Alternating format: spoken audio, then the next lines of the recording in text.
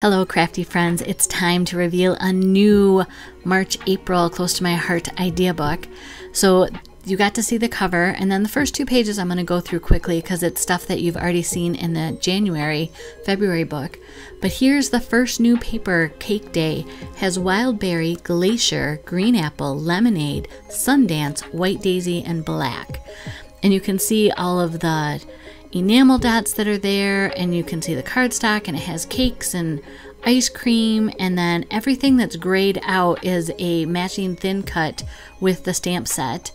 And now we're into the workshops. You can create these three layouts and it comes with the exclusive die cut so that all the presents have that thin um, ribbon on them Here's the card making kit with a piece of cake that actually slides. So it's an interactive card kit that you can make these four cards with this layout and you get all of the um, enamel dots and everything. Now this next paper pack is my favorite. It has Lagoon Glacier, Mint, Avocado, Lemonade, Mink, White Daisy, and Black again.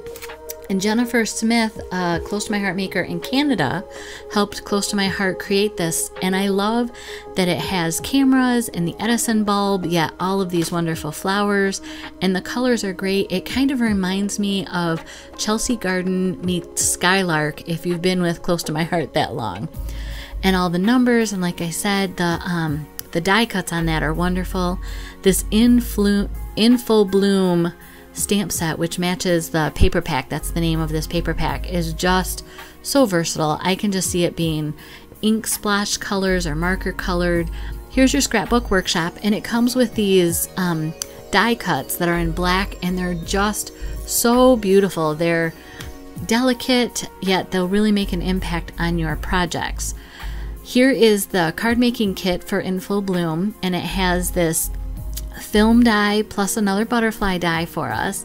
And again, who doesn't love the Edison bulb and a globe?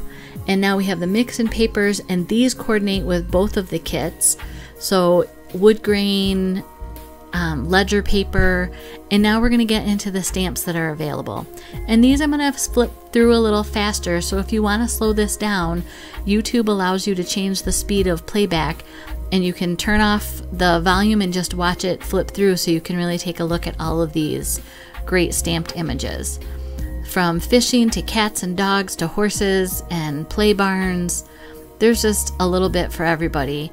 And then if you're a mountain explorer or a off-road vehicle kind of person, or if you're a video game player. So all of like I said, there's just so much versatility again in this book you have a project that you want to do and it's all yours. And for the first time today, this stamp set that has thank you, the um, flower florals here on page 41, this it's the first time I saw it today. It, you know, I've looked at this book several times, but I think that's going to have to go on my have to get it list. And then we're getting into the stamps of the month. So you had the goat greatest of all time and then the bottle collection here for April. Here's this Operation Smile stamp if you haven't already purchased that. If you want to connect with me, you can do that on craftingwithamanda.com or Instagram, or I do have a Facebook VIP group that you are welcome to join. If you haven't subscribed to this channel, go ahead and do that. You'll see that the word subscribe is in red. Here's another video that you may be interested in, and I hope you have a blessed day. Thank you.